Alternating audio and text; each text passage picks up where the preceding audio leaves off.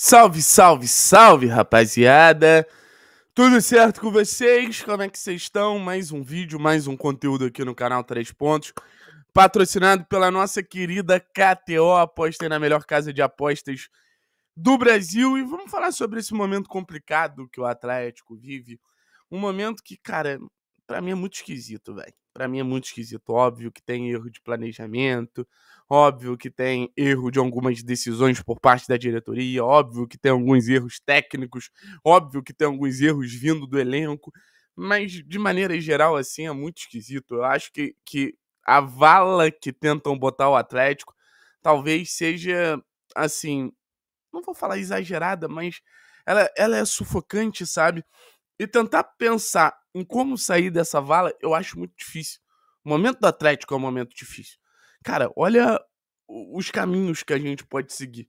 Segue com um treinador inexperiente que não vem conseguindo os resultados, mas conseguiu dar um bom padrão de jogo para a equipe.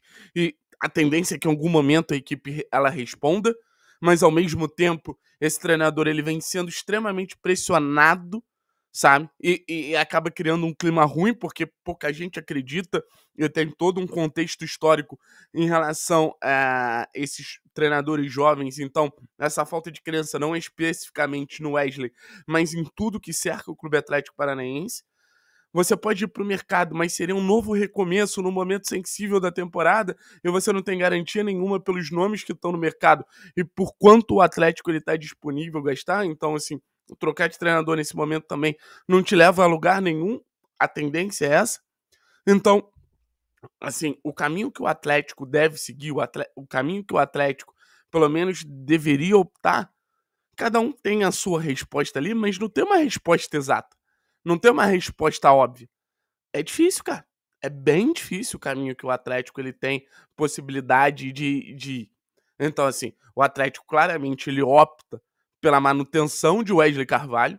O Atlético ele opta pela manutenção de um profissional que já está no clube e, e, por todo conhecimento de metodologia e tudo mais, eu acredito que, que essa escolha ela faça sentido, pelo menos num primeiro momento. Mas óbvio que gera preocupação. Quem não está preocupado com o centenário do Atlético, se o Atlético vai estar na Libertadores, se o Atlético não vai estar na Libertadores, é maluco, sabe? E hoje a gente teve uma declaração da Alexandre Matos, que o Vincenzo Delencani no, é, é, repórter da Jovem Pan. O Jovem Pan é isso? Enfim, da Tretz. Vamos botar Tretz, né? Que trouxe algumas declarações aqui do Matos e eu acho interessante a gente trazer essas declarações, porque acho que mostram muito esse caminho que o Atlético ele tá parecendo confuso.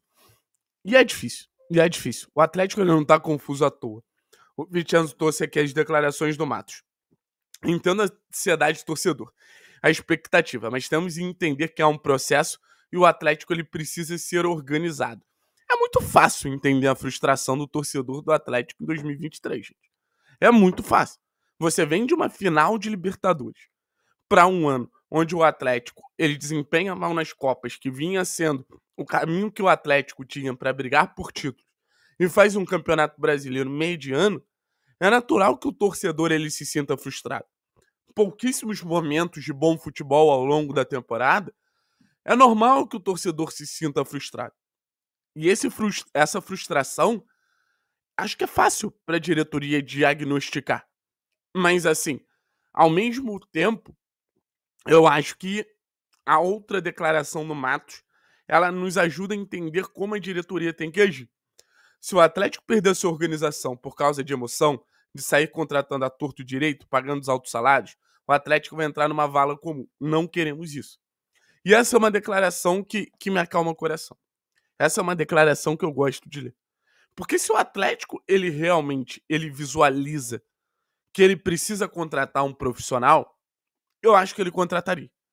Se ele conseguisse entender que ele pagaria um profissional com capacidade de mudar o patamar da temporada do Atlético, que é abaixo, eu acho que o Atlético ele não se ausentaria na hora de, de fazer esse investimento. Só que o Atlético ele olha para o mercado de treinadores e ele entende o óbvio. E o que, que é o óbvio nesse momento? Quem for chegar não vai fazer muito diferente de quem já está aqui. Então, esse investimento que se cobra, ele é um investimento muito mais para atender um momento de revolta, um momento de frustração um investimento muito mais pro lado emocional do que pro lado racional. E, a, e o lado racional, ele tem que ser por parte da diretoria. Eu não quero uma diretoria agindo de maneira extremamente emocional. As decisões, as mais abruptas possíveis, elas precisam vir com calma, com serenidade, porque não dá para falar de planejamento. Porque planejamento no Atlético em 2023, ele não existe, eu não vou vender essa mentira para vocês. Ah, mas o Atlético tinha que se planejar para isso, o Atlético tinha que se planejar para aquilo. O Atlético já não se planejou em 2023. O Atlético ele tá pensando só no próximo passo. E o próximo passo pode ser um passo errôneo, seja mantendo o Wesley, ou seja trazendo um, um, um próximo treinador, que afeta financeiramente e esportivamente em um dos anos mais é, importantes da história do clube, que é o centenário. Então, repito, é uma decisão muito difícil, é uma decisão muito complexa. O que, que a gente vai fazer? A tendência é a manutenção do Wesley. Pelo menos a tendência. O que a gente deveria fazer, aí é um caminho que eu também acho que é a manutenção do Wesley. Mesmo sabendo que muita gente gostaria de um novo técnico. E levando em consideração o investimento que naturalmente deveria ser feito para trazer um técnico de elite e tudo mais, tá muito claro que ele é fora de cogitação. Então não adianta a gente vender uma ideia para vocês, ah, o Atlético tem que trazer o treinador do estudiante. Não é uma possibilidade, pelo menos nesse momento. Eu espero que repensem na mudança de temporada para que a gente possa ter uma temporada melhor e que a gente possa dar tempo suficiente ao treinador para que ele possa, pelo menos, gerir um planejamento. Porque hoje o que o Atlético tem é reflexo da falta de planejamento, reflexo das escolhas erradas de quem essa diretoria escolheu para estar em cargos relevantes, principalmente Luiz Felipe Scolari e Paulo Tur. Nada me tira da cabeça que o, o, fracasso da temporada do Atlético, se vocês quiserem definir assim, começou em Scolari e Paulo Tur. Mas assim, é um sentimento que a gente precisa sobreviver em 2023. E o que, que seria sobreviver? Se classificar para Libertadores. Vai ser possível se classificar? Eu acho que vai. Mas o Atlético não pode se debater. Quando você está se afogando, qual é a última coisa que você tem que fazer? Ficar desesperado. E ficar desesperado é sair no mercado gastando dinheiro a roda. É, é ter calma e tentar respirar. É isso que o Atlético ele precisa fazer no momento, numa das situações mais complicadas das últimas temporadas. Mas é também para entender o nível de gestão do clube, principalmente por Alexandre Matos e Mário Celso Petralha.